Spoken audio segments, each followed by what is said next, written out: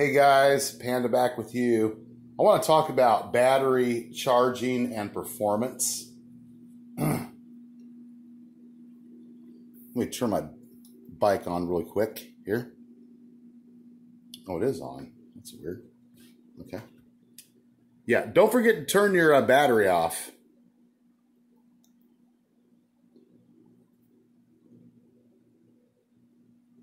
Okay, so yeah, I don't have that many miles on my bike yet. I'm a casual rider.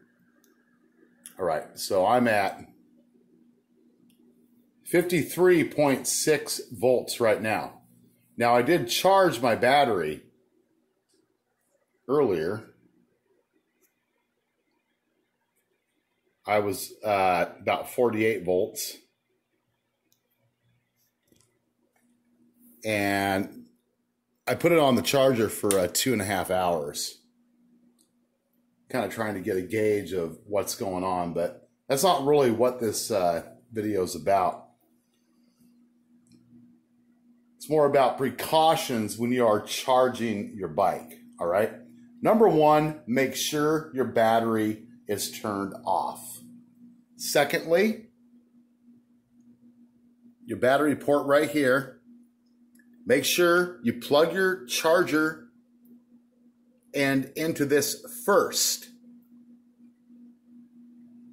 Then come over and plug it in to a well grounded outlet.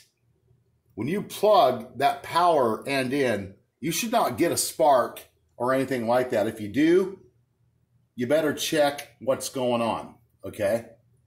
Just a good word of advice on that. Be really careful with that. And secondly, do not turn the power on on your battery while it is actively charging to pull up your display and see where your volts are at on your battery. Okay. If you really want to do that, unplug the charger from the outlet first, the plug in from the outlet. Then you can turn your bike on and check it out. You're not going to hurt the battery doing that. These batteries do not have a memory to them. You're not going to hurt the battery by doing that. As a matter of fact, if you are turning the power on to your bike while it is actively charging, in the rare event your charger gets screwed up or something happens with the charger, or you get a power surge, well, you have the power turned on to every other system in your bike. You could end up inadvertently screwing up your controller down in here or your monitor or other components. Okay, be very careful with that, guys. Just like a computer system. Like if you have a bad storm, if you don't have a, a good power surge protector, you turn off your computers during a storm. You know, keep the same thing in mind with your bikes, all right? Because those types of repairs not only can be a pain in the ass, but they can be costly as hell as well, all right? Simple, common sense. Stop and take a break, breathe, and think about what you're doing.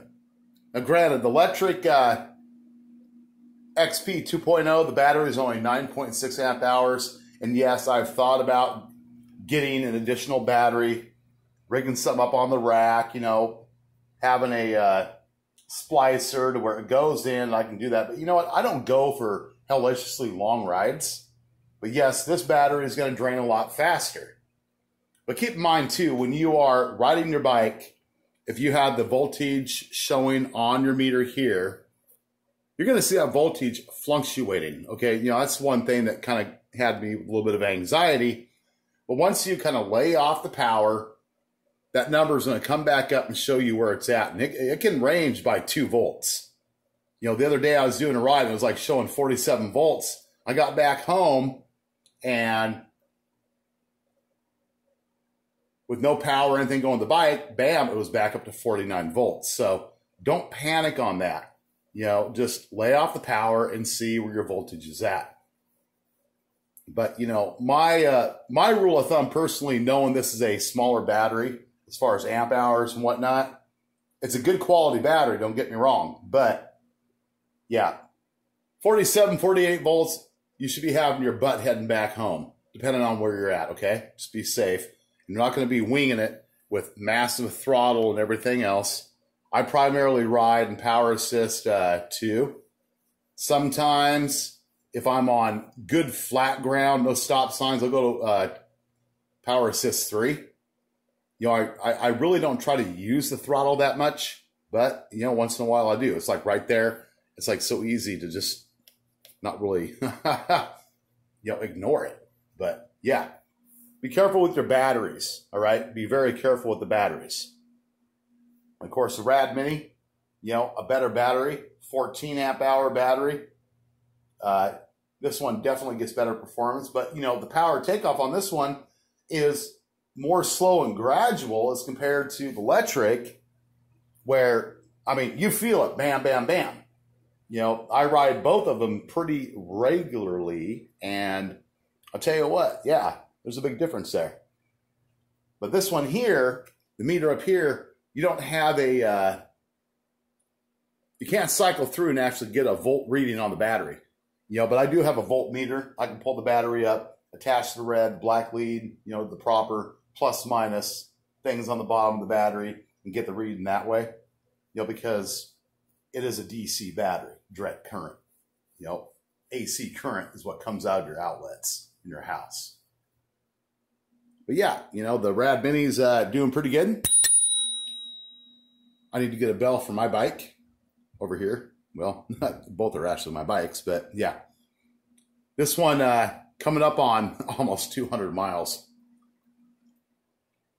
And I think the only other issue I'm really having with the bike here is something with the free freewheel, stock free freewheel down on it. The chain does not have any wear on the chain. You know, I have a an, a, a chain uh, wear indicator. The chain is like 100%. I mean, just like it's brand new still. But there's some issues with the uh, freewheel, like where some of the teeth are, I don't know, uh, just like low quality or whatever. And this right here, uh, if I recall right, is an 1134 freewheel. And of course, I upgraded mine to an 1134 freewheel, you know, but I paid, you know, for that freewheel. You know, I paid decent money for this one. This one over here is basically stock. It shifts pretty good, but there's a couple of gears where it's really questionable. And it's a really hard shift, like a clunk, clunk. But there is evidence on uh, the teeth where there's some very premature teeth wear taking place. And, you know, I would understand that if the chain was worn, but less than uh, 200 miles. And like I said, I do have a chain wear indicator tool. This chain is nowhere close to being worn. So, yeah, I might have to contact Rad Bikes about that, see what's kind of going on. Back tire's getting uh, quite a bit of wear, but it's holding out pretty good. CST Big Boat. But the tread's wearing down on that pretty quick. But now, if you look at the tread on the big beef tire here, this thing's designed for freaking motorcycles, right? You know, with to be on a uh, torque wheel.